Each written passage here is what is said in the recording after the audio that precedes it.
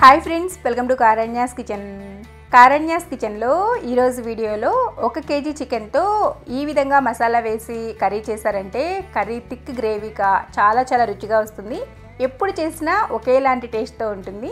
ఇప్పుడు ఈ చికెన్ కర్రీని బాగా ఎలా ప్రిపేర్ చేసుకోవచ్చో వీడియోలోకి వెళ్ళి చూసేయండి. ఈ చికెన్ కర్రీని ప్రిపేర్ చేసుకోవడానికి ముందుగా ఒక కేజీ వరకు చికెన్ తీసుకోండి. మీరు ఒకవేళ క్వాంటిటీ తగ్గించుకునేట్లయితే మిగిలిన ఇంగ్రీడియంట్స్ని కూడా తగ్గించి తీసుకోవాలి. అండ్ చికెన్ పీసెస్ను ఈ విధంగా మీడియం సైజులో కొట్టించుకోండి. వీటిని శుభ్రంగా కడిగి ఒక గిన్నెలోకి వేసుకోండి. ఇప్పుడు ఇందులోకి మీ రుచికి సరిపడినంత ఉప్పు వేసుకోండి.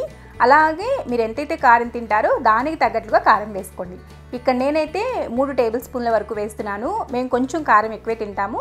మీరు తగ్గించి తినే వాళ్ళైతే కాస్త తగ్గించి వేసుకోండి. తర్వాత ఒక పావు టీ స్పూన్ పసుపు ఒక రెండు టేబుల్ స్పూన్ల వరకు అల్లం వెల్లుల్లి పేస్ట్ వేసుకోండి. ఇప్పుడు ఇవన్నీ కూడా చికెన్ పీసెస్కి చక్కగా పట్టేటట్లు ఇలా కలుపుకోండి. ఇలా చికెన్కి ఉప్పు కారం అన్నీ పట్టించుకోవడం వల్ల చికెన్ పీసెస్ అనేవి చప్పగా లేకుండా ఉంటాయి. ఇలా చికెన్లో మొత్తం కలిసేట్లు కలుపుకున్న తర్వాత ఇందులో జస్ట్ ఒక్క టీ స్పూన్ అంతా నూనె వేసుకుని కలుపుకోండి. ఇలా మొత్తం కలిపేసుకుని పక్కన పెట్టుకోండి. తర్వాత స్టవ్ ఆన్ చేసుకుని స్టవ్ మీద ఒక ప్యాన్ పెట్టుకోండి. ఇందులోకి కొంచెం మసాలా ప్రిపేర్ చేసుకోవాలి. ఇప్పుడు ఆ ప్యాన్లో ఒకటిన్నర టేబుల్ స్పూన్ల వరకు ధనియాలు రెండించుల చెక్క ఆరేడు లవంగాలు ఒక మూడు యాలకులను వేసుకోండి. అలాగే ఒక స్టార్ అనాస కొద్దిగా జాపత్రి అండ్ దగడ పువ్వు ఇంగ్లీష్లో స్టోన్ ఫ్లవర్ అంటారు. ఇది కొద్దిగా వేసుకోండి. టేస్ట్ చాలా చాలా బాగుంటుంది. ఇప్పుడు వీటిని ఫ్లేమ్ని మీడియంలో పెట్టుకుని ఒక రెండు మూడు నిమిషాల పాటు ఫ్రై చేసుకోండి. ఇలా ఈ మసాలాలని ఒక నిమిషం పాటు ఫ్రై చేసుకున్న తర్వాత ఇందులో ఒక చిన్న ఆకు బిర్యానీ ఆకు వేసుకోండి. అదే మీరు పెద్ద ఆకు తీసుకుంటున్నట్లయితే అందులో హాఫ్ కానీ పావు వంతు కానీ వేసుకోండి. ఎక్కువ ఎక్కువగా వేసుకోవద్దు ఘాట్ ఎక్కువైపోతుంది. ఇప్పుడు చూడండి ఈ విధంగా ఒక రెండు మూడు నిమిషాల పాటు ఫ్రై చేసుకున్న తర్వాత వీటిని తీసేసి ఒక ప్లేట్లోకి వేసుకుని పక్కన పెట్టుకోండి. ఇవి చల్లారిన తర్వాత మిక్సీ జార్లో వేసి పొడి చేసుకోవాలి. ఈలోపు అదే ప్యాన్ని స్టవ్ మీద పెట్టుకుని అందులో ఒక రెండు టేబుల్ స్పూన్ల వరకు నూనె వేసుకోండి.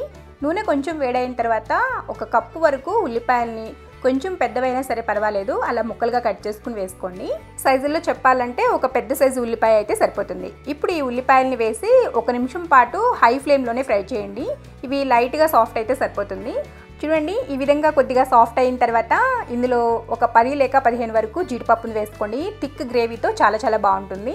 అలాగే ఒక హాఫ్ టేబుల్ స్పూన్ వరకు గసగసాలు ఒక చిన్న కొబ్బరి ముక్కను ఇలా ముక్కలుగా కట్ చేసుకుని వేసుకోండి. ఎక్కువ అవసరం లేదు. ఇలా వేసుకుని వీటిని కూడా కాసేపు అలా ఫ్రై చేసుకోండి. ఇలా ఒక థర్టీ టు ఫార్టీ సెకండ్స్ పాటు ఫ్రై చేసుకున్న తర్వాత ఇందులో ఒక పెద్ద సైజ్ టమాటోని ఇలా ముక్కలుగా కట్ చేసుకుని వేసుకోండి. మీడియం సైజ్ అయితే రెండు సరిపోతాయి. ఇలా కట్ చేసుకున్న టమాటోని కూడా వేసి వీటిని కూడా మరొక నిమిషం పాటు ఫ్రై చేసుకోండి. టమాటోలు బాగా సాఫ్ట్ అవ్వాల్సిన అవసరం ఏం లేదు. జస్ట్ పచ్చితనం పోతే సరిపోతుంది. చికెన్ గ్రేవీ కర్రీలోకి ఇలా ముందుగానే మనం వీటిని ఫ్రై చేసుకోవడం వల్ల చికెన్ కర్రీ టేస్ట్ చాలా చాలా బాగా వస్తుంది. ఇప్పుడు ఇలా ఫ్రై చేసుకున్న వీటన్నిటిని కూడా స్టవ్ ఆఫ్ చేసుకుని పక్కన పెట్టుకోండి. పూర్తిగా చల్లారిన తర్వాత నెక్స్ట్ ప్రాసెస్ చేసుకుందాం. ఈలోపు మనం ముందుగానే ఫ్రై చేసి పెట్టుకున్న మసాలా దినుసులు ఉన్నాయి కదా వాటిని మిక్సీ జార్లో వేసి మెత్తటి పొడిలాగా ప్రిపేర్ చేసుకోండి. చూడండి ఈ విధంగా గ్రైండ్ చేసుకుంటే సరిపోతుంది. మరి మెత్తగా రాకపోయినా సరే పర్వాలేదు. ఇలా గ్రైండ్ చేసుకున్న పొడిని ఒక ప్లేట్లోకి వేసుకుని పక్కన పెట్టుకోండి. నెక్స్ట్ మనం ముందుగా ఫ్రై చేసి పెట్టుకున్న ఉల్లిపాయలు టమాటోలు ఉన్నాయి కదా వాటిని మిక్సీ జార్లో వేసి చుక్క నీళ్ళు కూడా వేయకోకుండా ఎంత మెత్తగా వీలైతే అంత మెత్తగా గ్రైండ్ చేసుకోవాలి. వాటర్స్లో యాడ్ చేయొద్దు. అందుకే టమాటోలు ఎక్కువగా ఫ్రై అవ్వకూడదు అనమాట ఆ టమాటోల్లో ఉండే వాటరే సరిపోతాయి ఇవి గ్రైండ్ అవ్వడానికి. ఇక్కడ చూడండి గ్రైండ్ చేసిన తర్వాత చూపిస్తున్నాను. ఇలా మెత్తగా కాటుకులాగా ఉండాలి. ఇలా గ్రైండ్ చేసుకున్న ఈ మసాలా పేస్ట్ని పక్కన పెట్టుకోండి.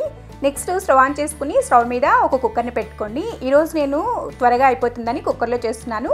మీరు కావాలనుకుంటే ఇదే ప్రాసెస్ని నార్మల్గా కూడా చేసుకోవచ్చు. కాకపోతే కొంచెం టైం ఎక్కువ పడుతుంది చికెన్ ఉడకడానికి. ఇప్పుడు ఈ కుక్కర్లోకి ఒక మూడు నుంచి నాలుగు టేబుల్ స్పూన్ల వరకు నూనె వేసుకోండి. ఒక పావు కప్పు వరకు పడుతుంది. అప్పుడే టేస్ట్ బాగుంటుంది. నెక్స్ట్ అలాగే ఒక రెండు బిర్యానీ ఆకులు చిన్నవైతే రెండు పెద్దవైతే ఒకటి తీసుకోండి. ఒక టీ స్పూన్ వరకు షాజీరా వేసుకుని వీటిని లో టు మీడియం ఫ్లేమ్లో కొంచెం అలా ఫ్రై అవనివ్వండి. ఇలా ఫ్రై అవుతూ ఉన్నప్పుడే ఇందులోకి జస్ట్ ఒక్క చిటికడంతా పసుపు కూడా వేసుకుని ఫ్రై చేసుకోండి. ఇవి కాస్త అలా లైట్గా ఫ్రై అయిన తర్వాత ఇప్పుడు ఇందులోకి మనం ముందుగానే గ్రైండ్ చేసి పెట్టుకున్న టమాటో ఆనియన్ పేస్ట్ ఉంది కదా అది వేసుకుని ఫ్లేమ్ని హైలోనే పెట్టి ఇది బాగా వేగి అందులో నుంచి ఆయిల్ రిలీజ్ అయ్యి మీకు ఇప్పుడు క్రీమీ స్ట్రక్చర్ లాగా కనపడుతుంది కదా అది చక్కగా ఒక అంటే గుల్లగుల్లగా వస్తుందన్నమాట. అలా వచ్చేంత వరకు ఫ్రై చేసుకోవాలి.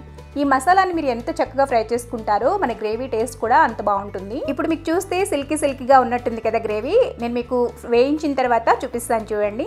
చూసారా? కలర్ కూడా చాలా డిఫరెన్స్ వస్తుంది. ఇలా గుల్లగా ఆయిల్లో రిలీజ్ అవుతున్నట్టుగా రావాలన్నమాట. ఈ విధంగా వచ్చిన తర్వాత ఇందులో జస్ట్ ఒక టీ స్పూన్ అంతా అల్లం వెల్లుల్లి పేస్ట్ వేసుకుని ఫ్రై చేసుకోండి. అల్లం వెల్లుల్లి పేస్ట్ వేసుకున్న తర్వాత ఇందులో ఒక మూడు నాలుగు పచ్చిమిర్చిని కూడా వేసుకుని ఫ్రై చేసుకోండి. పచ్చిమిర్చి చీల్చాల్సిన అవసరం లేదు. కుక్కర్లోనే చేస్తున్నాం కదా చక్కగా మగ్గిపోతుంది.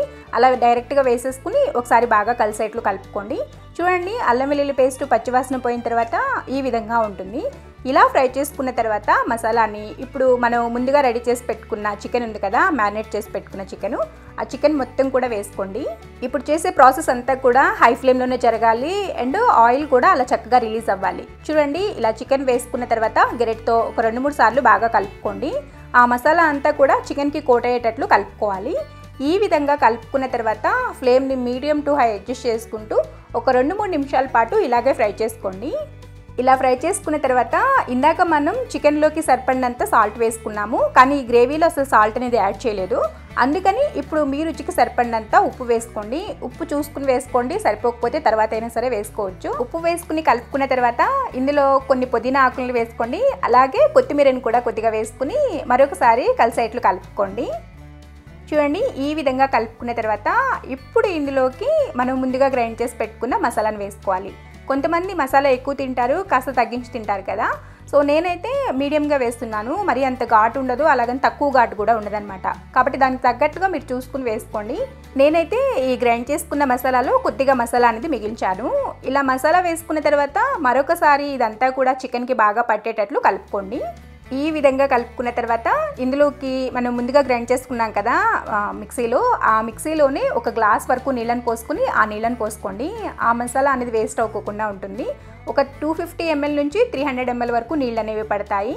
నీళ్ళు పోసుకుని కలుపుకున్న తర్వాత చూడండి కన్సిస్టెన్సీ ఇలా ఉంటుంది. ఇలా ఉందనుకోండి చికెన్లో నుంచి కూడా వాటర్ వస్తాయి కదా ఇంకొంచెం లూజ్గా వస్తుందన్నమాట కన్సిస్టెన్సీ. కాబట్టి దానికి తగ్గట్టుగా మీరు చూసుకుని వాటర్ పోసుకోవాలి.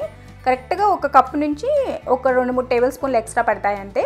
ఈ కన్సిస్టెన్సీలో ఉంటే సరిపోతుంది. మరీ జారుగా చేసేసుకున్నా మనకి గ్రేవీ అంత టేస్టీగా ఉండదన్నమాట. అందుకని బాగా లూజ్గా కూడా చేసుకోకూడదు. ఇలా కలిపేసేసుకుని కుక్కర్ మూత పెట్టుకుని విజిల్ పెట్టుకుని హై ఫ్లేమ్లో మూడు విజిల్స్ రానివ్వండి అంతే. అందుకన్నా అసలు చికెన్ ఉడికించకూడదు. కుక్కర్లో చేస్తున్నాం కదా చాలా త్వరగా ఉడికిపోతుంది. కుక్కర్ ఈ విధంగా ఒక మూడు విజిల్స్ వచ్చిన తర్వాత స్టవ్ ఆఫ్ చేసుకుని పక్కన పెట్టి పూర్తిగా చల్లారనివ్వండి. చల్లారిన తర్వాత ఇక్కడ నేను మీకు మూత తీసి చూపిస్తున్నాను చికెన్ ఏ విధంగా ఉందో. చూసారా ఎంత టెంప్టింగ్గా ఉందో కదా ఆయిల్ చక్కగా పైకి తేలింది. కన్సిస్టెన్సీ కూడా పర్ఫెక్ట్గా ఉంది. ఇది కొంచెం మీకు లూజ్గా అనిపిస్తుంది కానీ చల్లారాక ఇది బాగా టిక్ అయిపోతుంది. అంటే కొంచెం వేడి తగ్గితే టిక్ వచ్చేస్తుంది అనమాట అందుకని మరీ టిక్గా చేసుకోవద్దు. ఇప్పుడు అసలు చికెన్ ఉడికిందో లేదో చూపిస్తాను. ఇలా ఒక స్పూన్తో కానీ ఏదైనా గెరెటతో కానీ నొక్కారంటే ఇలా సాఫ్ట్గా అయిపోవాలి. చేత్తో ఒత్తినా కూడా తెలిసిపోతుంది మీకు. చూసారా? ఎంత సాఫ్ట్గా ఉడికిందో. ఇలా ప్రిపేర్ చేసుకోండి. చాలా క్విక్గా అయిపోతుంది. ఈ విధంగా ఉడికించుకున్న తర్వాత ఫ్లేమ్ని ఇప్పుడు స్టవ్ ఆన్ చేసుకుని ఫ్లేమ్ని సిమ్లో పెట్టుకోండి. ఇప్పుడు ఇందులో జస్ట్ కొద్దిగా కసూరి మేతి వేసుకోండి. ఇలా లాస్ట్లో కసూరి మేతి వేసుకోవడం వల్ల దీని టేస్ట్ చాలా చాలా బాగుంటుంది. అలాగే మనకి ముందుగా కొంచెం మసాలా మిగిలిపోయి ఉంటుంది కదా చూడండి ఘాటు సరిపోయింది అంటే ఓకే లేదంటే ఈ టైంలో కొంచెం వేసుకోవచ్చు ఫ్లేవర్ చాలా చాలా బాగుంటుంది. ఇప్పుడు మరొకసారి చక్కగా కలిసేట్లు కలుపుకున్నారంటే ఎమ్మీ అండ్ టేస్టీ అయిన చికెన్ కర్రీ రెడీ అయిపోతుంది. ఇప్పుడు ఈ చికెన్ గ్రేవీ కర్రీని మీకు నచ్చిన వాటితో సర్వ్ చేసుకోవడమే. ఉట్టి అన్నంతో తిన్నా కూడా బాగుంటుంది. పులావు బిర్యానీ చపాతి పుల్కా పరాటా ఇలా ఎందులోకి అయినా సరే సూపర్ టేస్టీగా ఉంటుంది. పర్ఫెక్ట్ కాంబినేషన్ ఒక్కసారి ఈ విధంగా మసాలా పెట్టి చికెన్ కర్రీని ట్రై చేయండి మీ ఇంట్లో. మీరు ఫిదా అయిపోతారు అంతే చూసారు కదా చాలా సింపుల్గా టేస్టీగా ఈజీగా చికెన్ కర్రీని ఎలా ప్రిపేర్ చేసుకోవచ్చో మీరు కూడా మీ ఇంట్లో తప్పకుండా ట్రై చేసి మీకు ఎలా వచ్చిందో కింద కామెంట్ సెక్షన్లో తెలియచేయండి.